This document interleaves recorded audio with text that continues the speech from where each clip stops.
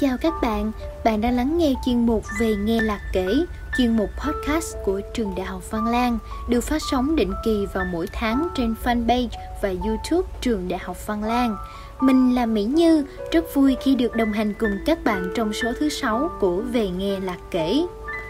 Về nghe lạc kể là nơi để đại gia đình Văn Lan gửi gắm những tâm sự, chia sẻ về đời sống học đường hay đơn giản là những điều nhỏ bé trong cuộc sống và lưu lại những kỷ niệm trong hành trình đại học của mình.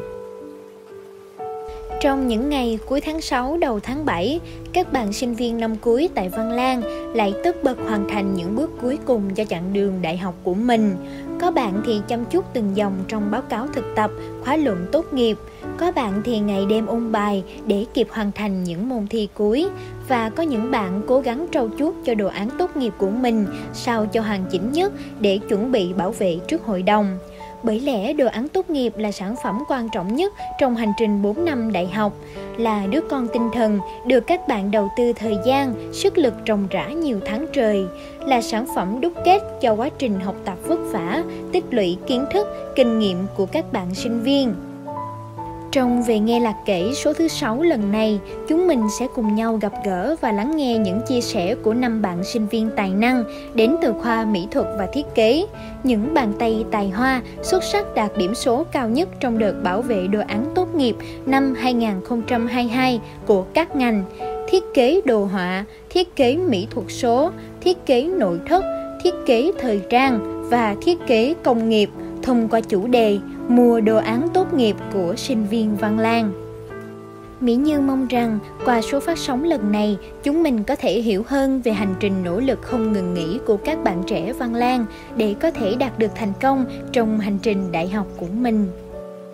Mở đầu chuyên mục về nghe lạc kể số 6, chúng ta sẽ cùng đến với chia sẻ của bạn Trần Minh Thuận, thủ khoa đồ án tốt nghiệp ngành thiết kế đồ họa với đồ án xây dựng hệ thống đồ họa game về khám phá thế giới côn trùng Riddle Dance. Đồ án tốt nghiệp là sản phẩm mình đã ấp ủ thực hiện từ rất lâu. Khi bắt tay vào thực hiện, mình quyết định mạo hiểm, áp dụng những kiến thức cơ bản về đồ họa 3D để tạo sự mới lạ độc đáo. Đồ án của mình nói về cuộc phiêu lưu của hai nhân vật Kit và Zoe đến với thế giới côn trùng rộng lớn hùng vĩ với nhiều bí ẩn và thử thách đang chờ đón. Mình lựa chọn hình tượng cho nhân vật Kip và Zui là những chú bọ rùa đáng yêu với tính cách hoàn toàn đối lập nhau. Song hành cùng họ là các nhân vật lấy ý tưởng từ các loài côn trùng như bọ hung, nhện, bướm, chuồn chuồn. Thông qua tựa game, mình mong muốn lan tỏa ý thức bảo vệ môi trường với những bài học nhỏ giúp người chơi trân quý những giá trị mà thiên nhiên mang lại.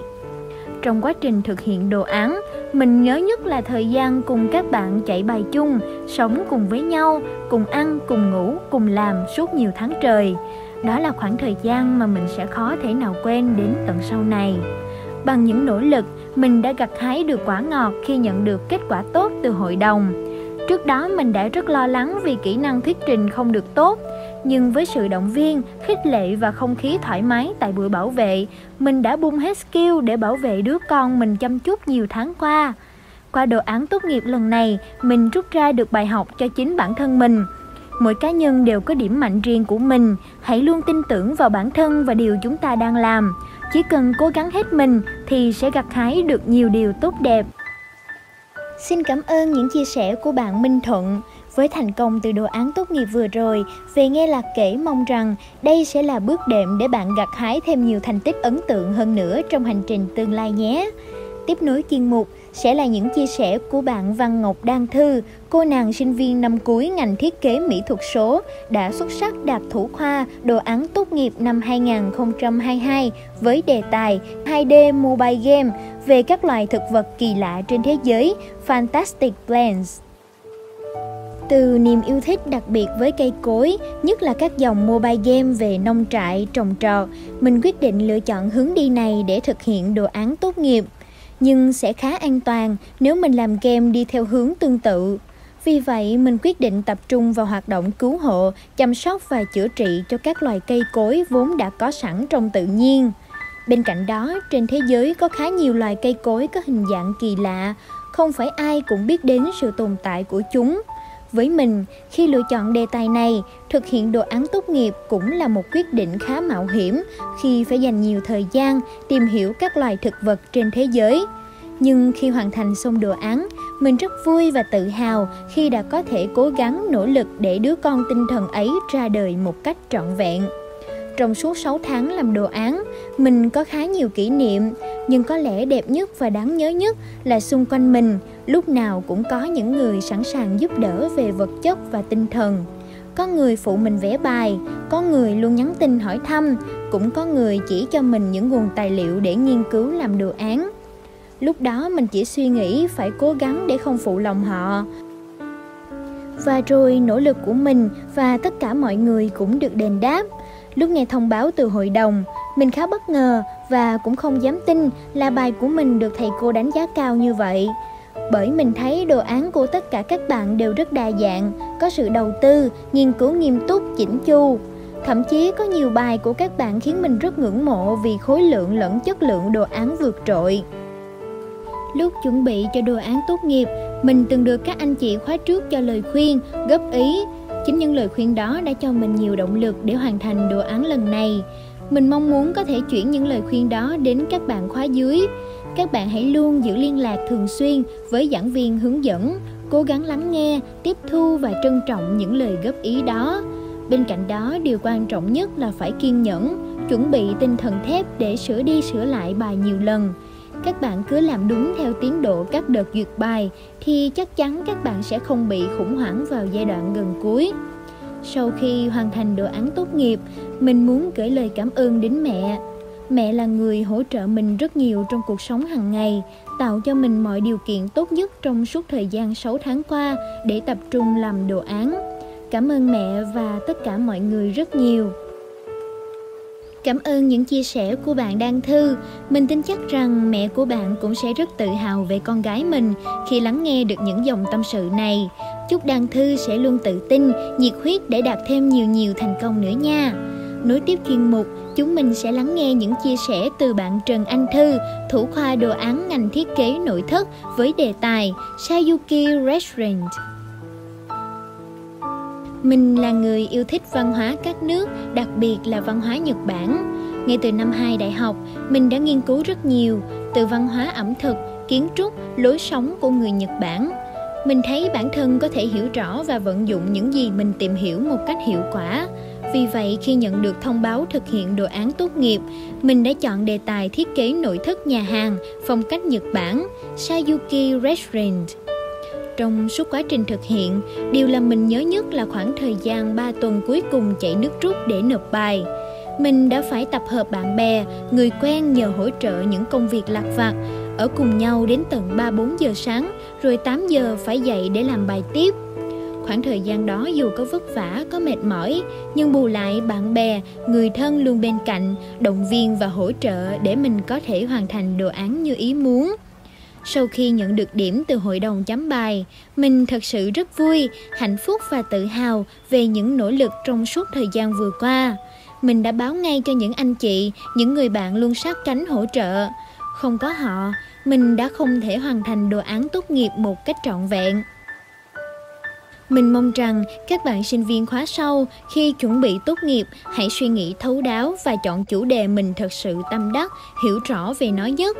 Nếu gặp những khó khăn, trở ngại thì đừng vội bỏ cuộc bởi bất cứ một sinh viên nào làm đồ án tốt nghiệp đều cũng trải qua những khó khăn cả. Hãy cố gắng vượt qua rồi sẽ gặt hái được thành công nhé.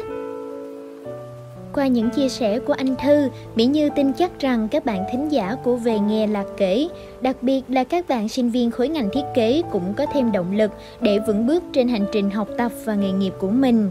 Sau chia sẻ của hai cô gái tên Thư tài năng của khoa mỹ thuật và thiết kế, chúng mình sẽ được lắng nghe những chia sẻ của bạn Đặng Trần Trí, thủ khoa đồ án tốt nghiệp ngành thiết kế thời trang với bộ sưu tập Tràn Dầu.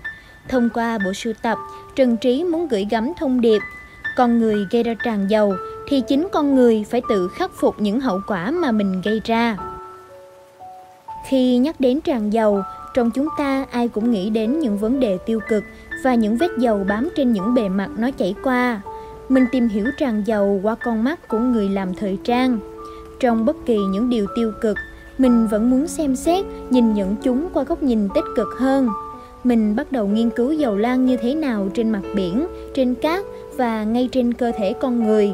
Từ đó mình khám phá được nhiều điều đặc biệt từ dầu nhớt, nhất là những vết dầu loang chỉ xuất hiện một lần và không bao giờ lặp lại hình dáng trước đó. Mình đã kết hợp họa tiết của sự lan dầu và trang phục bảo hộ để thực hiện đồ án này. Qua đồ án, mình nhận ra rằng tràn dầu cũng là vấn đề cấp thiết cần được quan tâm và khắc phục cũng như gửi gắm sự biết ơn đến những người bảo hộ giàn khoan đã giúp hết sức mình khắc phục những sự cố tràn dầu trên biển. Với mình, điều khó khăn nhất và kỷ niệm đáng nhớ nhất trong khi làm đồ án và cả 4 năm đại học là việc di chuyển 100 km mỗi ngày từ Bình Dương lên Sài Gòn để học, mua phụ liệu và thực hiện mẫu thật. Nhưng mình cảm thấy rất may mắn khi có gia đình, bạn bè hỗ trợ và động viên rất nhiều. Khi nghe đánh giá từ hội đồng về đồ án của mình, mình đã thật sự rưng rưng. Mình nghĩ rằng cuối cùng mọi cố gắng trong suốt một năm cũng được đền đáp, công sức và sự sáng tạo của mình cũng được mọi người đón nhận. Mình nghĩ rằng trong nghệ thuật, bạn hay là chính mình, đừng vì bất cứ lý do nào mà bỏ cuộc. Hãy cố gắng hết mình, dù kết quả như thế nào, bạn cũng không cảm thấy hối tiếc với những công sức mình đã bỏ ra. Về nghe lạc kể xin cảm ơn những chia sẻ của bạn Trần Trí về đồ án tốt nghiệp của mình.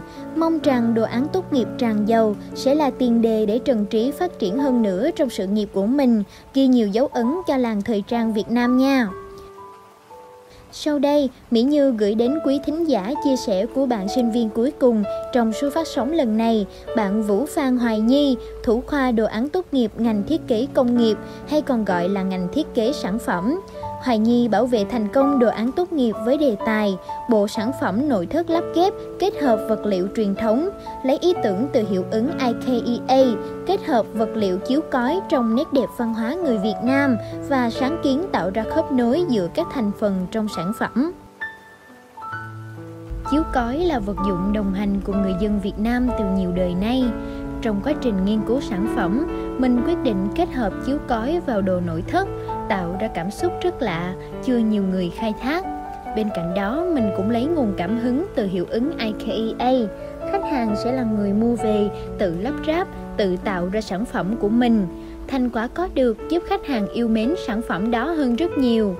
Khi bắt tay thực hiện đồ án này, những người xung quanh mình không tin là mình có thể làm được.